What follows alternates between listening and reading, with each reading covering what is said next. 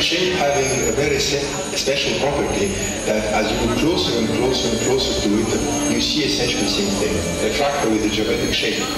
A geometric shape having a very special property that as you go closer and closer and closer to it, you see essentially the same thing. Refractor with a geometric shape. A geometric shape having a very special property that as you go closer and closer and closer,